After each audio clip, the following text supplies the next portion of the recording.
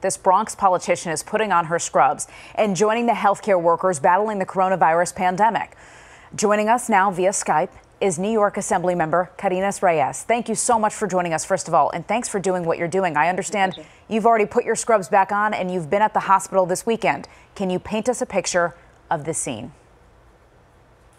Um, it is something that we haven't ever seen. Uh, I think a lot of us uh, kind of look each other in the face in disbelief.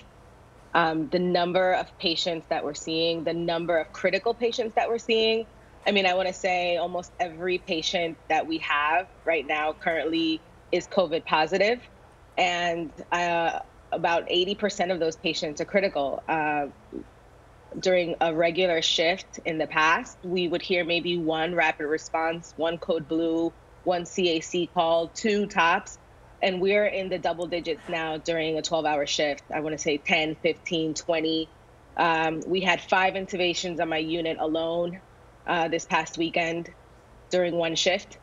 And that's a trend that we're seeing on every unit in every hospital in the city. So, what people probably, some people don't know about you is that you were a full time nurse before you were elected. So, tell us yes. about why you wanted to put your scrubs back on to get into this situation. It's the only way that I can help directly. Um, us legislators, we are um, kind of put on pause as well. We passed the budget last week. Um, but many of us, are, our offices are working remotely, and um, I have a set of skills that are required and needed right now. And it would be selfish of me to just stay home and not answer that call. I have to ask you, we know that so many healthcare workers are putting their life on the line. So many of them are getting sick themselves. So many are dying. So many separated from their families for more than a month now and can't see them. When you told your family that you were going back to serve as a nurse, what did they say to you? They told me I was crazy um, because I don't have to. Uh, I no longer have to do that. But uh, nursing has always been my passion.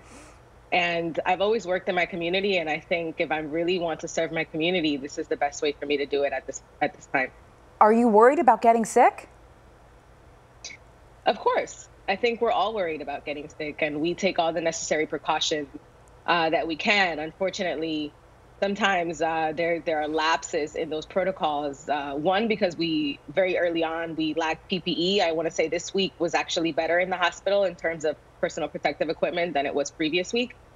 Um, but the the the state of emergency that's in the hospital right now, oftentimes because you're running around, uh, patients are crashing all the time. That um, sometimes you you forget to protect yourself the best way you can, but we are making sure that we remind each other on the floor, uh, the nurses in particular, to making sure that we take care of each other. Can you paint us a picture of the PPE and the gowns and the masks that you have available to you? How much are available to you, and how often do you have to reuse them?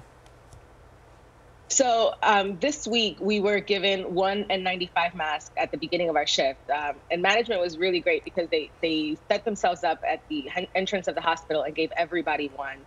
Um, but that mask is supposed to last us the whole shift. Um, and we get a face shield as well, and that's supposed to last us the whole week.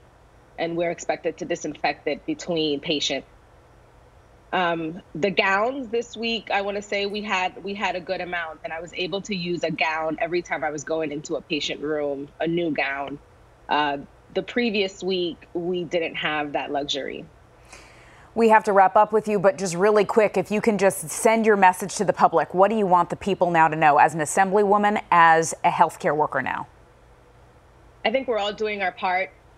Um, my part right now is to put on my scrubs and show up to work. Um, and I want people to know that they should be staying home and really helping us flatten this curve um, and making sure that we're keeping the most vulnerable in our community safe.